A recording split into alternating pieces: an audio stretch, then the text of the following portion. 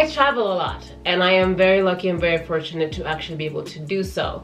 But with all the traveling that I've done in the past couple of years, I learned little tricks and hacks on how you can do it while on a budget. Ooh yeah. Hey guys, I'm Joy Kendi. If you are new to my channel, welcome to my ratchetness. If you are, oh, hey, how you doing? So first things first, I'm just gonna break down things that you need before even thinking about traveling or seeing the world or whatever the hell it is that you wanna do. And number one, there are two items that you have to have. I don't know what I just dropped, but there are two items that you have to have before you travel. Number one, passport, duh. But just in case you don't have a passport, get a passport. Uh, mine's a Kenyan passport and I'm not gonna show you guys um, the actual details of the passport because it's my freaking passport. Uh, another thing that you have to have, a yellow fever card. Yellow fever cards are basically just cards proving that you have gotten the yellow fever shot. It costs anywhere between 700 shillings to 2,000 shillings depending on the clinic that you go to. And each of these yellow fever cards last up to 10 years before you have to get a new shot. Now, how to travel on a budget, or basically how I travel on a budget. I travel in two different ways. Number one, I'll either travel for free where I don't pay for anything at all, or number two, I will pay for everything myself. So let me break down to you how I travel for free. Um, how I travel for free is also divided into two sections. Both times are usually work related. Number one, one way that I will work for free is when I am doing blog stuff or social media things, um, either a travel agency, a hotel, a country. Sometimes usually the country just being like, hey, come visit our country and talk about our tourist attractions or whatever it is. Another way that I travel for free is during commercial work. Um, I do do a lot of commercial modeling. Okay, I don't want to say a but like twice a year I do um, some form of commercial modeling, which a lot of times takes me out of the country. So I've done shoots in India, South Africa, Malaysia, Nigeria, uh, I think, oh yeah, Thailand, uh, I think I'm missing somewhere. But that's another way that I get to travel for free. Now let me break down how I travel paying for things by myself, how I travel using my own shmoney. And by the way, I've noticed that there's always some random dude or some like random chick who just like to hate when they see us like bloggers or whatever traveling where they'll write like little random comments like, oh, so which sugar daddy paid for this? If I am traveling and it is not work, I am paying for it 100% by myself. Me, myself, and I, and I'm talking about visas, uh, flights, accommodation, food, everything. I'm paying for it by myself for money that I have earned, that I have worked for. So, suck it. Um, so let me break down to you guys quick ways to travel on a budget. I have to write these down because I feel like I was gonna miss so many things. So first rule if you're trying to travel on a budget is try to travel off peak season. Oh my gosh, if you are trying to be budget friendly, do not try to like go to New York during New Year's. That's stupid. You will spend so much money on flights, accommodation, food, transport. Just, you will spend so much money. And the way to tell off-peak season is Google it. I don't know, I can't spoon feed you everything.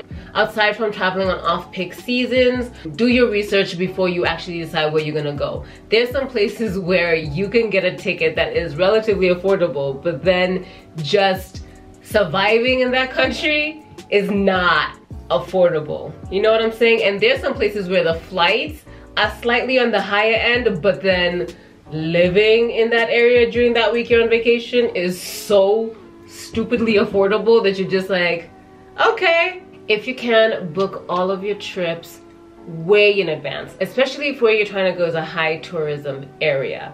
If you're trying to go to Paris, do not try to book anything like just two weeks before the trip because the prices will escalate so much you will be shocked versus if you just decided to book the trip maybe a year in advance. Instead of traveling to highly popular destinations, start by going to areas that are more relatively unknown. They usually tend to be a lot more affordable than the popular places for obvious, obvious reasons. A perfect example that I can give for this is when people come to Kenya and they want to go to the coast. If you don't know anything about Kenya, the first thing that you want to do is go to Mombasa. But if you just decided to just go just a little bit down to Kilifi, you'll actually be spending way less money and have much cleaner beaches. You know what I'm saying? You know what I'm saying. Uh, you need to figure out which countries require visas and which countries do not require visas. Because when you have to have a visa, it costs money. Okay, so if you can travel somewhere that does not have any visas, I highly suggest you do it because that's something that you don't have to pay for. For example, going to the US, a visa depending on the exchange rate, can be anywhere between 16,000 shillings to 20,000 shillings, just depending on the exchange rate. Uh, going to South Africa is 5,000 shillings. By the way, Susan Wong did an amazing list of countries that don't require visas from Kenya. So I'm gonna put the link down below um, to, I think it was an article that she did for Capital. And you guys can check that out and look at the countries and see what you're into.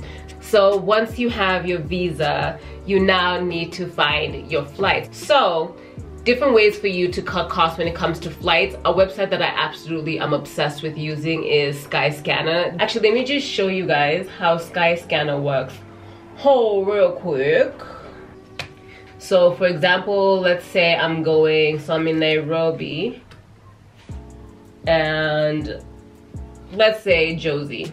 Let's go to Johannesburg and let's go on August 21st to the 26th. It's an adult. We want economy because we're not balling like that. You press search. And by the way, this is not sponsored by Skyscanner. I'm just showing you guys some stuff.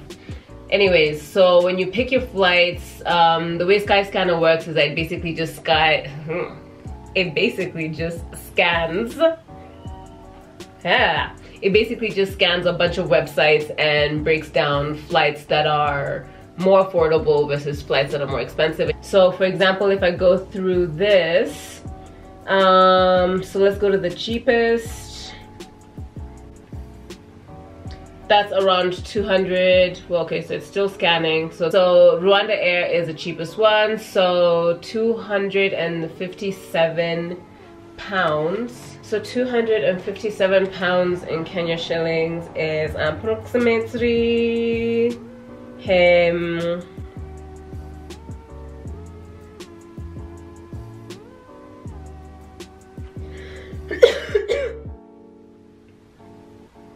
is approximately 36,000 Kenya shillings. Um, that's actually really good. What? Oh, oh, is that round trip though? Okay, now let's move on to accommodation. You have gotten your visa, so now let's move on to the next step. You have gotten your passport, you have your fever card, you have your visa, you've gotten your flight, you've arrived in the country. Now you need to have a place to stay. So you can either go for the hotel option, which by the way, let me just let you know right now, um, it's kind of sort of an expensive option. Don't get me wrong, I love me some hotels because I love just the fact that I don't have to make a bed.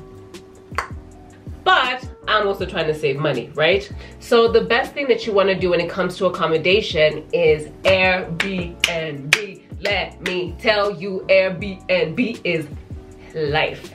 So let me show you how Airbnb works. So Airbnb is basically a site that hooks you up with people who are willing to either rent out a room in their house, the entire house, an apartment, you decide whatever it is that you want to do. So let's say again we're going to Johannesburg. So I am now on airbnb.com. Let's type in Johannesburg. It took a job big. Okay. So you choose that you want to go to Johannesburg. I can't remember the dates that I chose for the first thing for airlines. Let's just make some stuff up. So let's say August 20th to August 25th. Number of guests. Let's say there's two of us because you want to travel with friends because traveling with friends cuts down costs a lot, especially after flights. Everything within the country, if you have friends, you just split it down the middle. It cuts oof, it's amazing. So let's say two friends. You can also choose children, all that stuff. I ain't got no kids, so. Okay, so I'm looking for homes. And so if you go to home type, you can decide whether you want a house, an entire apartment, a private room, whatever. I'm gonna, I always pick an entire place because I don't want the owner there at all. No shade, I just don't. And then you can also filter out by price. So I usually just pick anywhere between anything that's within the dark section because I'm not about that thousand dollars a night vibe, right? So let's say if it's let's just say $100 can be our max because now if you're traveling with two people, that means you can split it down the middle where it's 5,000 shillings per person or $50 per person. So once you do that, you have all these options of amazing places that you can stay. That's a full apartment that you can just hang out. You and your girl, y'all can go out. You can come back, not be afraid that you're gonna wake anybody up because it's just y'all. Let me look at this one. This is actually really cute. Um, the only thing that when it comes to Airbnb is you really have to be careful the area that you are selecting because sometimes you'll see a really cute place but you're actually not looking at the map and where they're located. And in some countries like for example South Africa Johannesburg is very large. So you'll think that you're like in the middle of like the city but then you're literally an hour away from everything. So you have to be very careful about the location of the place that you're selecting. Um, but let's just look at this one. Let's say baby girl is trying to stay in, which area is this? Randburg, right? So this is the apartment, cute, right? And this one is around 4,000 shillings a night. And it is one bedroom, one bed, one bath. It can hold up to two guests. Dining room area on fleek. Oh girl, it got a pool Oh, they're all about the decoration. They're all about the aesthetic. They even have a zebra in the back so you can be like, hey, me in Africa. They got cute little corners. They got a bathtub. Ooh, I go for bathtubs at all times. So basically that's how Airbnb works. And then so if we, if we look at the final cost, the final cost for five nights is 20k divided by two that's 10k i don't think you understand how cheap that is when it comes to traveling and accommodation and all that and the best part about when you get these apartments is they all have kitchens so if you're also trying to cut costs I will highly suggest that you cook from home. You don't eat out every single meal. If you are gonna buy souvenirs, you should never, ever, ever, ever, ever, ever buy from hotels or airports. Unless you're balling, then do you. So traveling within the country, you can go the private route by renting a car. I'm 100% not doing that ever. I don't even drive in my own country. I'm not driving in your country. Um, you can also go the taxi route. I personally would never, ever, ever, ever take a taxi at a hotel because, oh my gosh, those things are hella expensive. But you can also use Uber or Taxify. Some countries only have Uber. Some countries have both Uber and Taxify. Just download the app and then figure it out when you get to that country. There's also public transportation. A lot of countries have very safe public transportation systems. Depending on where you're going, there could be subways, there could be trains as a public transportation, buses, matatus, I don't know, like you do you. So that is basically a breakdown of how it is that I travel on a budget. And I do realize that there are many other ways to actually cut costs when it comes to traveling um, but I just wanted to show you guys how I do it to each his own. If you want to go to a hostel go to a hostel. If you want to stay in a bougie bougie bougie boutique hotel you do you boo boo to each his freaking own. You know what I'm saying? So yes thank you all for watching this video. I will see you guys on friday when i finally post up my eyebrow tinting video. If you follow me on instagram then you know what the hell i'm talking about. If you don't then you don't know what the hell i'm talking about. But just know there's gonna be an eyebrow tinting video. So if that's what you're into stay tuned for friday yeah okay i'm done I'm so freaking hungry and I don't know how I'm gonna eat with this freaking lipstick. It's so dumb. Oh, do you guys know something that's really fun about YouTube? People look like they're all dressed and ready for life, but down below, they're wearing pajamas. It's a look, man. It's a look, it's a vibe. See you Friday. Cheers, love.